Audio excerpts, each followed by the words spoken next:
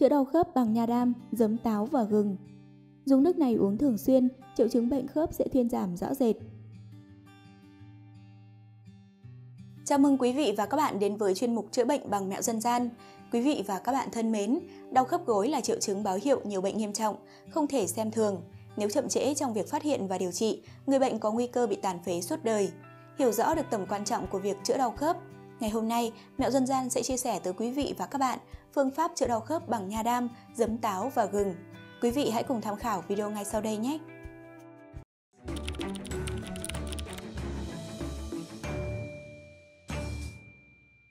Để thực hiện phương pháp này bạn cần chuẩn bị một khúc nha đam,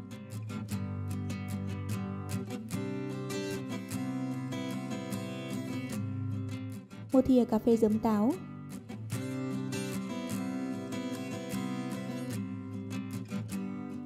3 gam gừng.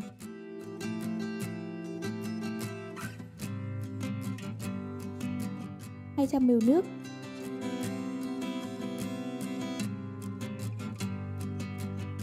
Cách thực hiện đơn giản như sau.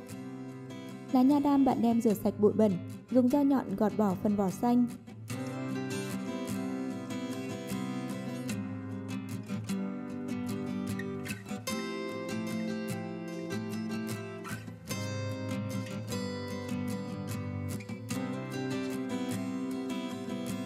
Và đây là phần thịt nha đam chúng ta thu được.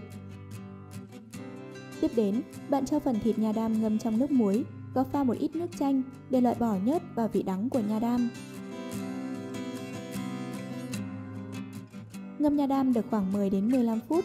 Trong khi đợi nha đam chúng ta sẽ sơ chế gừng. Gừng bạn rửa sạch, cạo vỏ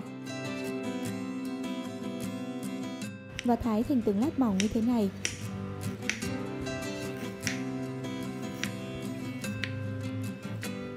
Giờ thì bạn vớt nha đam lên và rửa sạch nước muối để thịt nha đam không bị nhiễm mặn.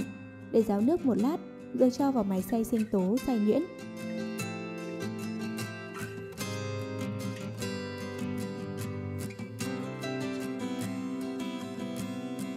Sau khi xay xong, bạn rót sinh tố ra cốc.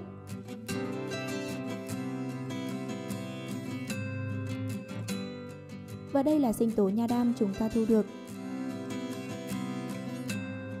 Bạn lấy một thìa cà phê giấm táo và vài lát gừng cho vào ly nước ép nha đam, khuấy đều. Dùng nước này uống thường xuyên, triệu chứng bệnh khớp sẽ thuyên giảm rõ rệt. Lời khuyên khi dùng nha đam chữa bệnh khớp Để cách dùng nha đam chữa bệnh khớp an toàn, hiệu quả và nhanh chóng thì cần phải chú ý những mẹo sau đây. Thứ nhất, nha đam hoạt động như loại thuốc nhuận tràng, có thể làm giảm tác dụng của các loại thuốc đang trị bệnh khác hoặc có thể gây rối loạn tiêu hóa và đau bụng. Do đó, nên tham khảo ý kiến bác sĩ nếu như bạn bị tiểu đường. Thứ hai, cần sử dụng tinh dầu nha đam tinh khiết, riêng phụ nữ mang thai và trẻ em thì không được dùng tinh dầu nha đam. Thứ ba, cần có chế độ ăn uống phù hợp, luyện tập đều đặn và khoa học. Thứ tư, duy trì cân nặng ở mức bình thường, tránh hút thuốc lá, uống rượu bia, trên đây là phương pháp cũng như những lưu ý khi sử dụng nha đam để chữa đau khớp. Nếu quý vị có ý kiến đóng góp hoặc thắc mắc cần được giải đáp, hãy bình luận xuống phía bên dưới, ban biên tập sẽ gửi tới quý vị câu trả lời sớm nhất.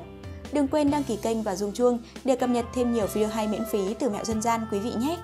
Chúc quý vị và các bạn luôn mạnh khỏe, hạnh phúc và bình an.